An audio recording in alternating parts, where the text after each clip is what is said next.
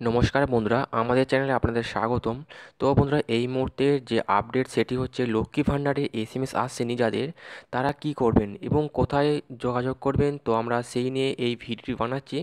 তো অবশ্যই ভিডিওটি স্কিপ না করে পুরো দেখবেন, তাহলে জানতে পারবেন যে সমস্ত মহিলাদের লক্ষ্মী ভাণ্ডারে এস এম এস এখনও পর্যন্ত আসেনি। তো সেক্ষেত্রে তারা কী করবেন, কোথায় কন্ট্যাক্ট করবেন, সমস্ত আপডেটই আমরা এই ভিডিওয় জানিয়ে দেবো। তো অবশ্যই ভিডিওটি শেষ পর্যন্ত দেখবেন। আপনি লক্ষ্মী ভাণ্ডারের ফর্ম ফিল আপ করেছিলেন, অথচ আপনার মোবাইলে কোনো রকম এস এম এস আসেনি। অনেকেই এই ধরনের সমস্যায় সমাধান হওয়ার জন্য জানতে চাইছেন তাদের কি উপায়। ফর্ম ফিল আপ করা সত্ত্বেও মোবাইলে এস এম এস না আসায় বাড়ির অনেক মহিলাই চিন্তায় রয়েছেন। অনেকে জানতে চাইছেন তাহলে এখন উপায় কি? কোথায় গেলে কীভাবে জানা যাবে? অনেকেই জানাচ্ছেন, ফর্ম ফিল আপে দশ দিন, পনেরো দিন হওয়া সত্ত্বেও এস এম এস আসেনি। তারা এর পরবর্তীতে কি করবেন, কোথায় যাবেন কিছুই বুঝে উঠতে পারছেন না। এস এম এস যদি না আসে, তাহলে কি কি করবেন সেটা জানুন। অনেকেরই আবার এস এম এস আসছে, অনেকের আবার এস এম এস আসছে না, কিন্তু কেন? ফর্ম ফিল আপের সময় যদি আধার কার্ড, মোবাইল নাম্বার বা স্বাস্থ্যসাথী কার্ডের নাম্বার ভুল দিয়ে থাকেন, সেক্ষেত্রে কিন্তু এস এম এস আসার সম্ভাবনা কম রয়েছে। আবার এস এম এস না আসতেও পারে। আবার অপরদিকে যেহেতু দুয়ারে সরকারের প্রচুর ফর্ম জমা পড়ছে, তার জন্য এনরোলমেন্ট হতে একটু বেশি সময় লাগতে পারে। তার জন্য আপনাদের একটু ধৈর্য ধরতে হবে। অনেকে ভাবছেন দুয়ারে সরকারের ক্যাম্পে গেলে হয়তো সহযোগিতা পাবেন, কিন্তু একদমই ঠিক নয়। দুয়ারে সরকার ক্যাম্প এই বিষয়ে কোনো সহযোগিতা করতে পারবে না। কারণ দুয়ারে সরকার ক্যাম্পে লক্ষ্মী ভাণ্ডার প্রকল্পের ফর্ম দেওয়া এবং জমা নেওয়ার কাজ চলছে।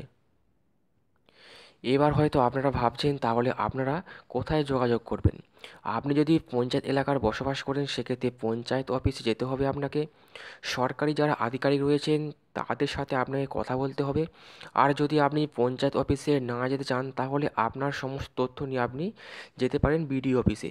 বিডিও অফিসে গিয়ে আপনি জিজ্ঞাসা করতে পারেন, আপনার এস এম এস কেন আসছে না, অথবা আপনার ফর্ম ফিল আপ বাতিল হয়েছে কি না সেটাও জানতে পারেন। আশা করা হচ্ছে আপনাকে সরকারি আধিকারিকরা অবশ্যই সাহায্য করবেন। আর যদি আপনি, যদি শহরে বসবাস করেন, সেক্ষেত্রে আপনাকে এসডি অফিসে যোগাযোগ করতে হবে। যদি আপনি পৌরসভাতে যোগাযোগ করতে চান সেক্ষেত্রে আপনি করতে পারেন। বর্তমানে লক্ষ্মী ভাণ্ডার যা কাজ হচ্ছে সবই অফলাইন হচ্ছে।